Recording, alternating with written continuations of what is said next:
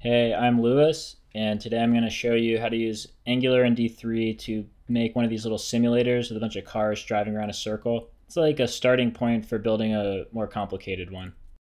This is the project. On the right, we've got our index.html file. On the left, we've got CoffeeScript. Um, the first thing that we're going to do is set up the Angular app, register everything. We're going to call it main app, building a div that I'm registering the app on. And the next thing to do is make this little directive that is actually going to inject the template. I'm going to call it roadder for road directive. Uh, now it's time just to do a bunch of Angular boilerplate. This is the roadder function. I isolate the scope. I'm going to use the controller as syntax so that in the template we'll be able to reference our data model as VM for view model. Uh, and then template will be a template string. Uh, so the template is really just basically an SVG and we're going to put SVG elements inside of it. The SVG is going to have a width and height of 500, just a big square. And then we need to make a group to hold everything together and move all of our elements together. I'm going to call that G main. And then in the middle of the group, I'm going to put a circle. Uh, give it the class road to style it. It's going to be, you know, this big circular road. One thing I need to do is move the circle into the middle of the pane rather than being in the top left like it's defaulted to. So to do that, I'm going to use a transform, translate, and then I need to move it halfway from the top and the left.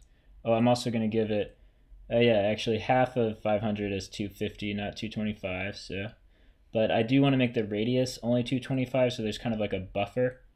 And here is the styling for the road itself.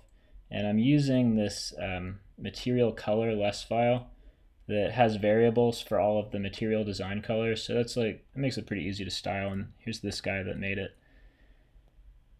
Okay, so now the road is styled and we should be able to inject the template. Yep, there it is.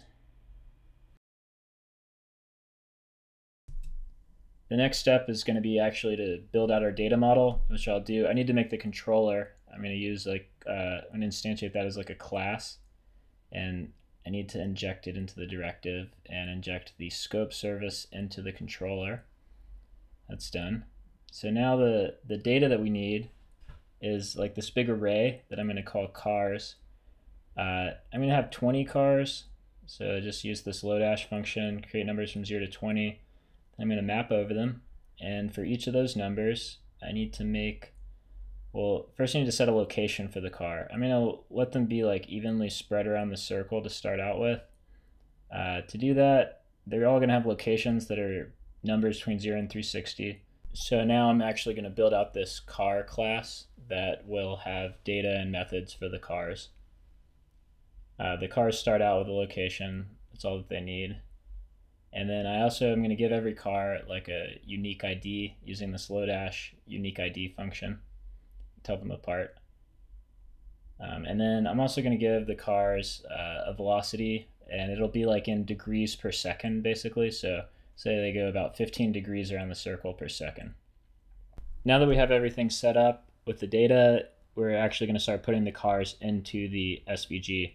We're going to put them on this class called gcars to keep track of them.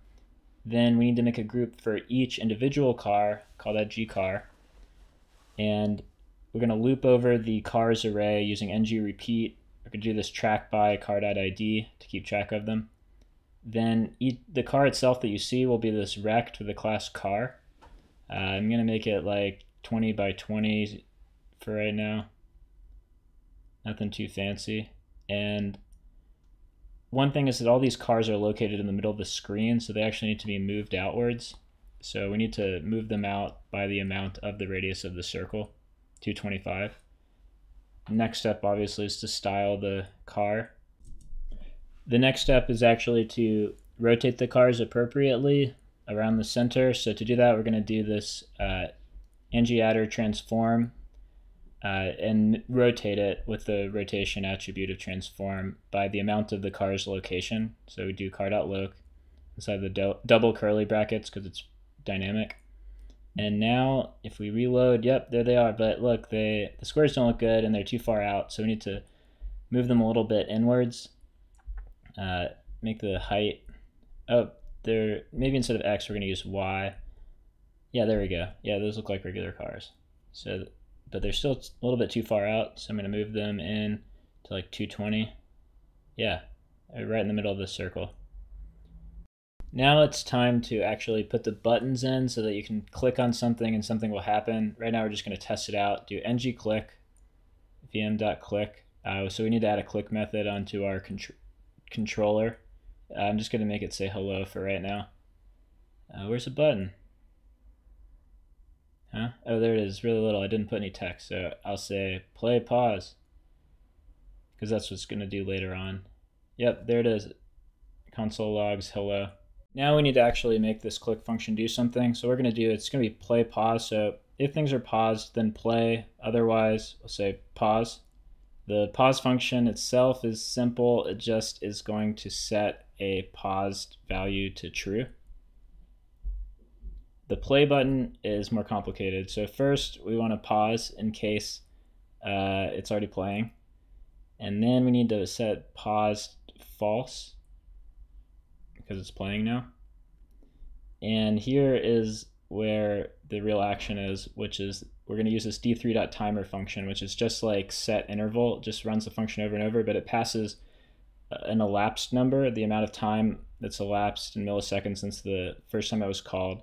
Each time we're going to loop over the cars and we're going to pass each car to a move method. We're going to pass uh, the amount of time that's passed since the last time the D3 timer function was called. So we need to have this last number to keep track. Set last to elapsed at the end of the function firing. Um, and then the timer method returns uh, true or false. Uh, if it returns true, then it pauses, it, it, it exits, it doesn't work anymore. Uh, oh yeah, and don't forget to uh, render your DOM again with this scope eval async. Um, and then we're going to use this D3 timer flush. That just means that it executes in case somebody presses keeps pressing the button. So now we have everything that we need um, except for the move method on the car. So the move method is going to take DT, the amount of time since the la last time it was called, and uh, it needs to update the location using that. So say the location increases by DT over a 1,000, converting to seconds, um, times its velocity. And that should be everything that we need. Let's see if it actually works. It does. All right, thanks for bearing with me, and I hope that you stay tuned for more videos about how to build more complex simulations.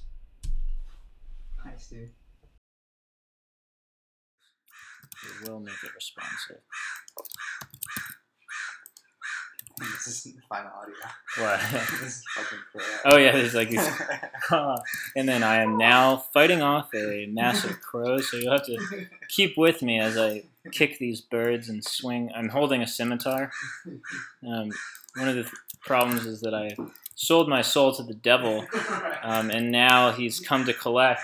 Unfortunately, I did it when I was only eight years old, and so all I got was twice as much Halloween candy as normal. Um, probably not a good deal. Feel a little bit ripped off.